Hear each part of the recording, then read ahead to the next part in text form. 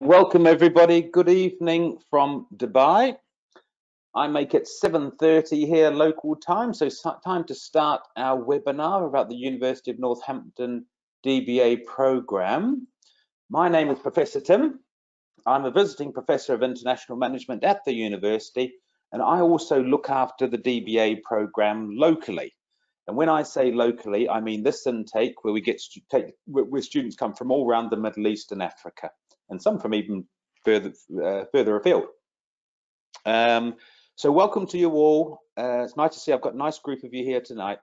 What I'm going to do is I'm going to spend about 20 minutes just going through some key points of the DBA program. Uh, and then after that, I'm going to take any questions that you've got. And if you do have any questions that come to you while I'm presenting, feel free just to put them in that question box on your on your panel there and I'll get to them as soon as I finish my presentation. So let's get on then. Just before I get to the DBA program, let me just tell you a little bit about Northampton and the university, because most of you, I would think, probably haven't been there. Northampton is a town in England. It's about 100 kilometers north of London. It's a very old historic town, been around for an awfully long time and appears in all sorts of different parts of English history. And just, well, it used to be, just on the outskirts of the town, just on the, just on the outside of the town, used to be the University of Northampton. But back in uh, just a few years ago now, back in 2018, the university actually built a brand new campus. So it's now right in the middle of Northampton. It's an incredible campus, completely state of the art and fantastic buildings. And in fact, if I go back to my first slide, there's another shot of it there, and you get an idea of how it's a nice greenfield site. Um, and on that campus, you'll find the Senate building. And on a whole floor of the Senate building, which you'll see on the photo on the right there, there's actually a dedicated space for research students. So if you uh, do become a student on the DBA program, there's always a place for you on campus where you can work and for as long as you want, uh, as long as you want on the campus there. And I certainly do hope, as of course, when you uh, uh, being a student on the program, that you will get to the campus and certainly for graduation as well. The university, I won't say too much about it because you can have a look in your own time at the at the website and find all about the history of it and everything else. So really, did this slide just to point you in the direction of the website uh, of the university itself. But education, as you can see here, goes back an awfully long time. Goes back to the uh, to the 13th century. But the modern University of Northampton's origins begin about 100 uh, about 100 years ago in the 1920s when it became a technical college and various things over the years to where it is now, the University of Northampton. And about 14,000 students and 1,500 staff. So it's a, it's a, it's a pretty sizable institution, but a pretty sizable place. Right, let's get on to the program itself though.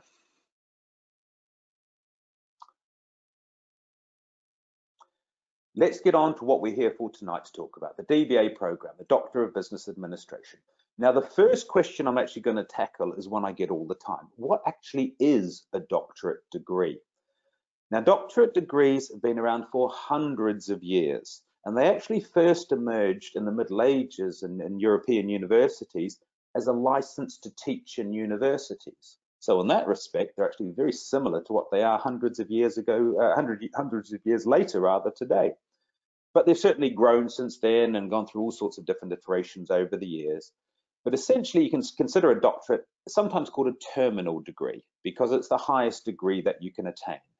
Now, there are things like postdoctorate certificates and things that you can get, but generally speaking, it goes the, the, the major steps, if you like, are a bachelor's, a master's, then that terminal degree, the doctorate. And there's two types of doctorate degrees, and they differ in terms of their audience. Professional doctorates are for people who are primarily engaged within a profession. So if you go and see the doctor, for example, you go and see a doctor who will have usually have an MD, a doctorate of medicine. Now that doctor is primarily engaged in a career, a medical career. So we call that a professional doctorate. Uh, for engineers, there's a doctorate in engineering. For pharmaceutical people, doctorate in pharmacy. Uh, for education people who want to who work in the highest levels of education settings, there's a doctorate of education. So you see in all of these settings, these are primarily for people who work within those professions. And of course, for business and management people, the professional doctorate is the DBA, the Doctorate of Business Administration. So it's geared towards people who are primarily engaged within that profession. The alternative is research doctorates. And the one you're most probably most usually aware of is the PhD, the Doctorate of Philosophy. And that's a purely research-based degree where people not necessarily will be engaged in a profession, they'll be engaged primarily in some sort of a research or learning sort of an environment.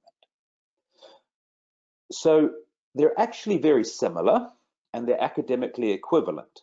They're both just big research-based degrees. It's just that if you did a PhD in business and management, it could be something quite theoretical. You could just come up with a new model of motivation or something. Whereas a DBA, it must have a practical applied outcome. So you must do a project that has something practical that managers and organizations can use. So that's how they sort of in, in terms of their application. And it means, although they are research-based degrees, that means they are different as well in terms of how they're structured and various other things. But they are research-based degrees, they have different outcomes. Um, and of course, they both confer upon the bearer the title of doctor. So once you're at the end of that journey, anyone who holds a doctorate degree can use the title of doctor.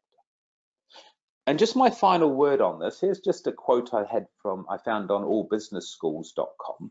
I just think it makes the difference between a DBA and a PhD in business and management quite, uh, quite nice. So I'll, I'll read it out. So the top one that's saying PhD programs in business focus intensively on preparing candidates to conduct highly specialized scholarly research. They focus on the development of new theory in management, economics, and related fields, most PhD and business administration graduates lead to careers as university researchers and professors or as senior researchers in business or government.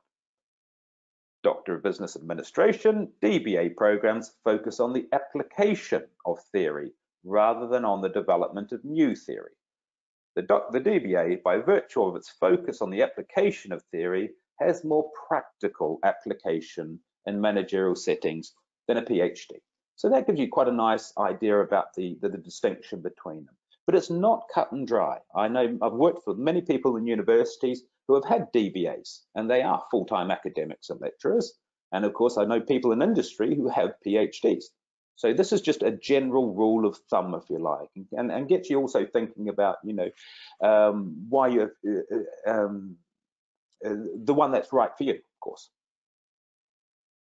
Right, let's get on then. So that's the difference between a DBA and a PhD. What sorts of things do DBA students study then? This list is a list of topics of students, our own students who have gone through this, uh, this course. Some of them still going, some of them have finished now, and I've just picked a random selection of topics that they looked at. So you see it's a real mixture of anything business and management. We've gotten a critical examination of a performance management system, leadership styles and employee performance, an assessment of corporate governance in the public sector, assessing the value, value chain in the manufacturing business, reasons for investing in high-tech startups, resolving project complex, agile project management, and one of my students who looked at knowledge transfer in a management training setting. So anything, anything business and management, operations, finance, accounting, marketing, organizational behavior, human resource management, social responsibility, business ethics, innovation, anything business and management can be a DBA topic. Let's have a take a look at the program then.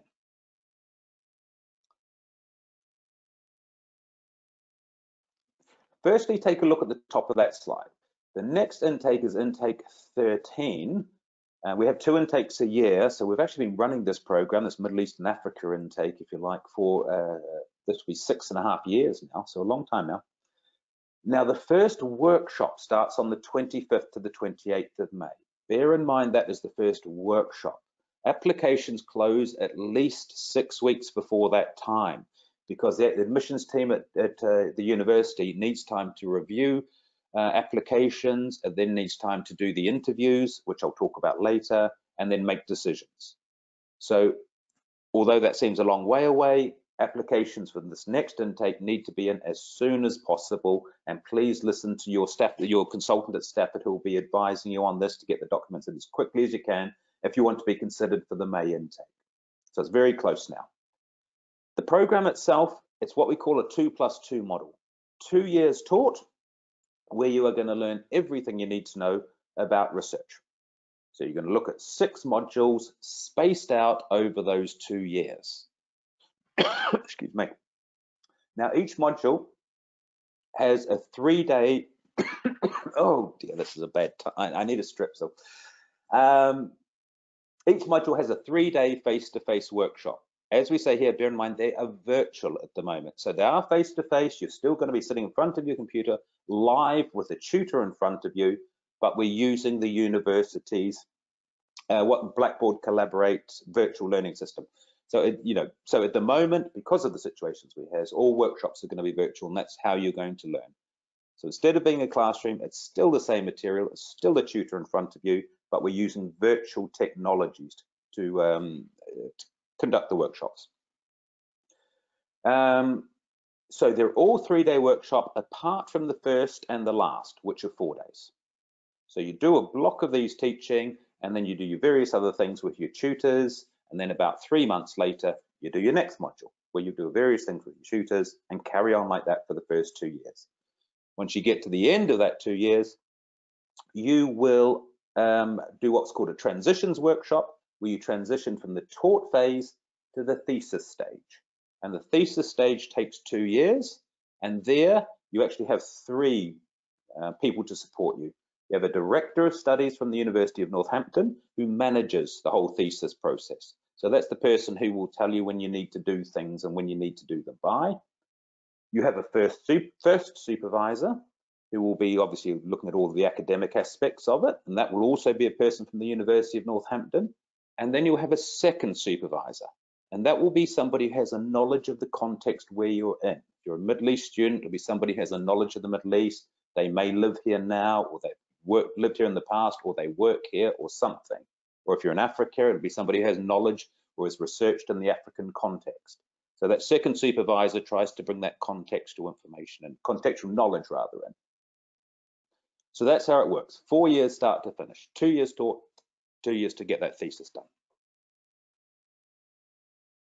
There's all sorts of assessments during the facilitated modules and your tutors will, your professors on each of these modules will tell you exactly what they want you to do, but they can be essays, seminar presentation and debate, portfolio, research report, reflective report, uh, and you'll end with a research proposal, a big one, and even a practice viva voce, which is how your thesis is assessed. So all sorts of different assessment types. No exams though, they're all some type of an assessment, uh, some type of an assignment for the first two years. And then when you get to that thesis stage, you're going to construct a 40,000 word document and you are assessed with a viva voce examination held at the University of Northampton, although we're having to hold them virtually at the moment. Viva voce just means oral examination. So you submit your thesis, and then the oral examination with, will be with an internal examiner, which will be an, an, an examiner from the University of Northampton, and an external examiner. And the external will be from a different university. All right, so that's the assessment.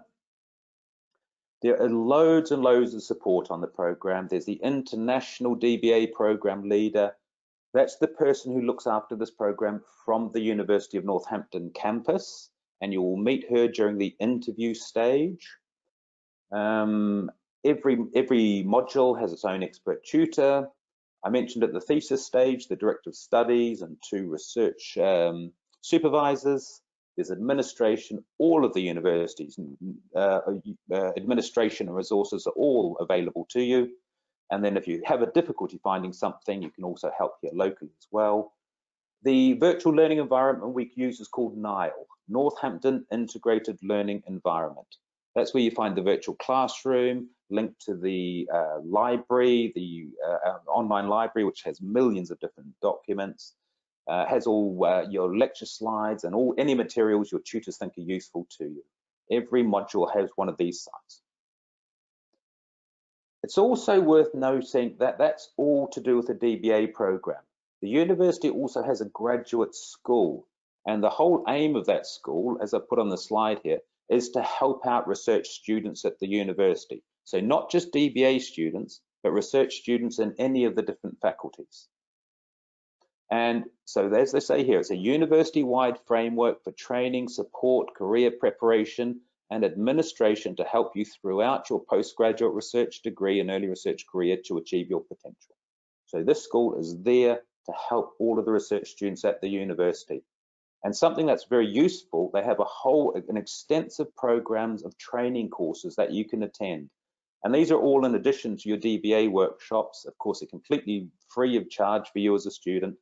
But let's say you wanted to have more, do another training course in um, quantitative analysis. You know, you got a bit confused about SCS, SPSS, which is the tool we use in quantitative analysis. In, uh, analysis. You can attend another course at the graduate school, and they have courses on how to write a literature review, research ethics, NVivo is how we uh, analyze qualitative data, and many, many more. So you've got all of that support for the DBA program, but then as a researcher at the university, you've also got access to the graduate school, which has all of these extra things you can tap into. So loads of support. Let's look at some of the Key things of the program, entry requirements, you will usually hold a master's degree in a business related subject completed within the last 10 years, ideally. Have a minimum of five years work experience, of um, at least some of which should be at a senior level. And just to mention of the students we have on the program, they are very, the, the vast majority are at, at a senior level because you need to be, be uh, employed in a leadership and management role capable of supporting achieving the program learning outcomes. A lot of the taught modules will have you thinking about your own organizations and practice. So you need to be in a role where you can actually address those things. Application is fairly standard, a CV, a personal statement. In the personal statement, that's just going to be about, you know, what, why do you want to study a DBA? What's your motivation for doing How's it going to help you personally and professionally? Why do you want to do a DBA, not a, a PhD? Why do you want to do the Northampton DBA? Um, how will you find the time to actually do it? Because it is a long journey, a doctorate program. How are you going to, mm, you know, balance your, your time with your work and family and everything else? So that's the sort of thing you put in a personal statement. Then you'll have your usual two references, your transcripts, certificates, evidence of English language ability only if you're asked. If you have a master's in English, for example, you're not going to be asked about that. So only if you're asked will you need to provide proof of that. And two key things are the interview and the proposal. Put them in bold because they're important. The interview is going to be with the program leader from the university and another person who will be an expert in your subject.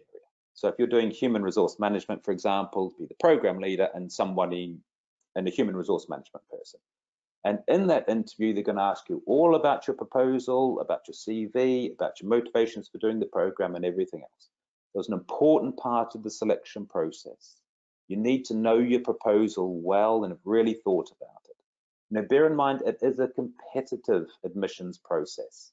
Only about 50% of people who apply will get onto the program. So you need to spend some time preparing for the interview and getting a decent proposal done as well. It's not something that can be done in an afternoon. And here's some advice for the proposal. Firstly, why do we need a research proposal before you even start the program? And here's the reasons here. The admissions team needs to be sure, well, needs to needs to know that you're capable of studying at doctoral level. It is a big step up from masters. The university doesn't want you, well, none of us want you starting a program unless you've got starting a doctorate program, unless you've got every chance of succeeding. So you want to have a look, is this applicant capable of studying at doctoral level? Does the proposal, uh, proposed research fit with the nature of DBA? Remember, it's got to be practical outcomes. Then does the university have an appropriate supervisor? Now, the university has supervisors in all major areas, but if you had something very specialized or very niche, it's possibility it may not be supervised. So that will be looked at at this stage. Just a bit more about the proposal. Can it make a practical contribution to business and management? Can the applicant reference using the Harvard system? Can they write a brief literature review and cite some authors in the field? And do you have a basic understanding of research methods? Down the bottom, I've said all business and management master's graduates should already have these skills. So it shouldn't come as anything particularly new to you doing this proposal. For fees, very fees are very reasonable. Remember, this is a taught program. It's not an online program. It's a part-time taught program. And please do have a look at the Stafford Global website for the current fees because they can change between intakes. So I want to make sure you got the highest, uh, got the latest information. Of course, your consultant at Stafford, Ruxar or Mario probably can help out as well. Last couple of things from me before I have a look at the questions. Why should you do a DBA at the University of Northampton? Because it's an investment in your future, both in your academic and professional fields. The highest qualification of business and management. You'll contribute to business and management practice. It would be expected your thesis would be published international local supervision support, and then workshops from your, the, the leading professors at the university. Very last thing from me, last quote if you like. Completion of the Northampton DBA will set you apart as an expert able to lead and manage at the highest levels. You'll have made a unique contribution to your field and developed outstanding analytical, critical, creative and reflective skills so needed in today's business world will really set you up for the very highest levels of business and management or consultancy or training or moving into universities or whatever it is that you see as the future for you. Right, how am I doing for time? I think I'm pretty good. A little bit over 20 minutes, but not at all bad. Let's take a look at those questions then. As I say, the easiest way to do this is if you type your questions in the question box there, and I can take them one by one.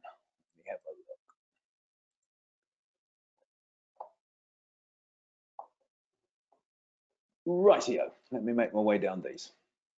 So the first question I've got, can this program be completed in two to three years? No, it can't. It takes four years start to finish. And you, uh, when I often get this question at the beginning of the program, students saying, oh, can I do it a little bit faster?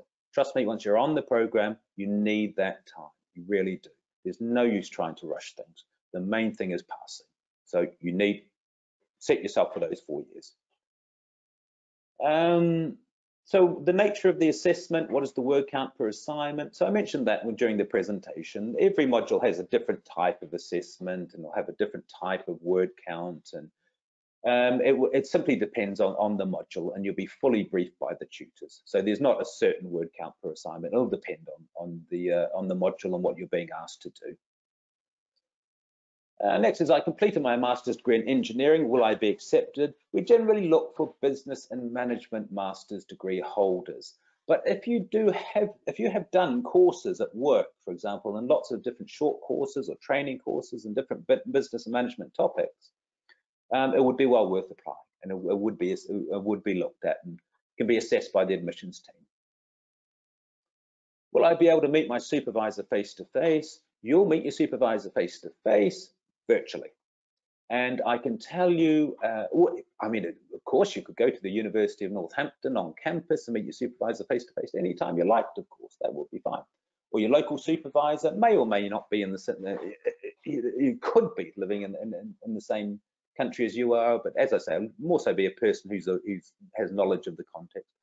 So yeah, sure. I mean, by you, you could by uh, if you wanted to, but I'm a supervisor on the program and I can tell you that it works perfectly well uh, online because the main reason is you can get all your supervisors and your student in the same room together, uh, all together on the call, which makes it really useful. Whereas if you're meeting your supervisor, you'd have to meet your one in Northampton and then your other supervisor different.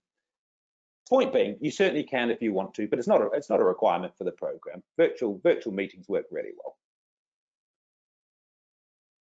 Uh, I've been advised that the workshops are currently virtual. Yep, that's correct.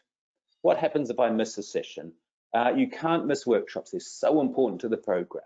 Now, it might be perfectly fine where you have to miss a part of a session or perhaps something, an emergency comes up before a workshop and you simply can't make that session. Now, those sorts of reasons are okay and your tutor will help you and work with you to work through that. but they would be exceptions. You really do need to, attend those workshops because it's such an important part of your learning. Uh, what is the duration of each module? Uh, you'll see you the timetable's out, so please have a look at the timetable from your consultant at Stafford. They'll send it to you where you'll see exactly when every workshop takes place. And so you have the whole timetable for the first two years, and the second two years is, is your thesis. Do you accept exemptions for this program? Okay, so this could be if somebody's done a doctoral level module somewhere else and then wants to get the exemptions onto this program. We don't on this program. You need to begin from the beginning because it builds each module builds on each other. So if you missed one, it would make it difficult to catch up. So we don't accept uh, exemptions for this program. Um, when will the workshops resume again in the UAE? They're virtual and I that's not something I could even begin to even guess at at the moment. At the moment they're virtual and there's just too many, uh, it's just too much of an issue, issue traveling and everything else. But the virtual workshops very work very well. Will my degree state online distance learning? No, it won't. Remember, it's not a, it's not an online program. Uh, it, it is a taught program. You're taught live by your tutors. That's an interesting question. Can I change my research topic halfway through my studies? Potentially you could, although most students don't. It will get a lot more refined and focused though, that's what I will say. So you might come up with your initial proposal that you submit to the admissions team, get accepted on the proposal. That proposal is likely to be quite different two years later once you've done all of the research modules, and that's fine. But most students will still be in the same sort of field or in the same sort of realm as their proposal was. But if you wanted to completely change, yeah, it would be possible, but that would be a discussion to have with the university, with the tutors, with the professors, to make sure that you're not changing, you know, that the change is a good idea, for example. So there'd be a lot of support with your tutor, with your professors on the program that would guide you with that if that became possible. I've also had students before who have had an idea about what they want to do and how they want to research it. Then I've had them on the thesis stage when I've supervised them, then all of a sudden they couldn't get access to the organization to collect data that they originally wanted to. So communication with the supervisory team and the students, we all have to come up with other ideas of how we can change that project to take into account situations like that. So things like that do happen. Uh? If I fail the interview stage, what would happen to my application? Can I apply again? The admissions team will tell you if you can apply again uh, or not. If they think your proposal is just a little underdeveloped or your ideas need to be thought through, then they can say at the end, look, you've not been successful this time, but you can apply again for the next intake to give you time to further strengthen your interview, uh, your proposal, and then think further about your Next question, how often do we have face-to-face -face interactions with the supervisor? So we give a guideline when you get to the thesis stage that you should meet with your supervisors every six weeks. Now that's just a guideline. Some you could meet more often if you want to, but you've got to remember at every meeting, your supervisors are going to give you work to do, or they're going to say, "You, we, I want this done by your next meeting." So meeting any sooner doesn't help very much. You've got to have time to actually develop a document you then send it to your supervisors, they read it, and then you meet, and then you discuss on your next step. So the thesis stage would go step by step. You meet your supervisors, they'll tell you, this is what we want you to do first. Then you'll develop work on that, send it to your supervisors, you meet again, okay, that's done, next step. So the guideline, as I say, it depends on the student, is every six weeks to meet your supervisors. Uh, last question how much time do you estimate that the student needs to invest for the program of study per week on average? Yeah, I'm often asked this question. That really is a difficult one. It does take time. It really does. But it depends on a number of different factors. It depends on the student. Some students just seem to be able to pick things up slightly quicker than others. Others seem to have to spend a bit, bit more time and effort. And it can also depend on the module. Some people might find uh, advanced quantitative analysis something that they need to put a lot of time into, but they might do another module where they find they find it a bit easier, not so much of a stressful problem. So you know, it, it, it, it it's it's a very hard one to answer. But from talking to students, you know, if you can say sort of eight hours a week, I, I'm giving that's sort of the ballpark figure. So, you know, it is achievable. Remember, everybody on this program is working in this, and in, in, uh, in, everybody's working and in, in mid to very senior positions. So it's the whole program is designed for people who are working in stressful jobs who have to balance all of these things in their lives. So it is achievable and it can be done, but it will, you know, it does take an investment in time. And I think if you have in the back of your head sort of eight hours a week, that's probably a reasonable thing to think. Perfect. I have gotten through all my questions. If anything else does come to you, feel absolutely free to contact me. Also, when you, I also, I read all the proposals as they, before they're submitted as well. So if you, when you submit them to your consultant staff, they'll always come to me first and I'll have a look over them. And if I don't think they're quite ready, I'll send them, uh, I'll give my comments and they'll go back to you to be, uh, uh, uh to be amended, you know, just to respond to my comments. So you're, um, so so as I said, if you have, if you're thinking about a topic, uh, you know, get something down on your proposal. We it won't be submitted straight away. It'll come to me, and I'll have a look, see what I think, and I can send it back to you, and we'll until we get a proposal that I think has the best chance of being successful. Of course, I don't know if the admissions team are going to accept it or not, but at least I can advise you so you're presenting it in the best possible way. All right, thanks everyone. As I say, there's my contact details if anything does come to you anyway, and I hope I will see you on our 13th intake in May. Thanks all. Bye for now.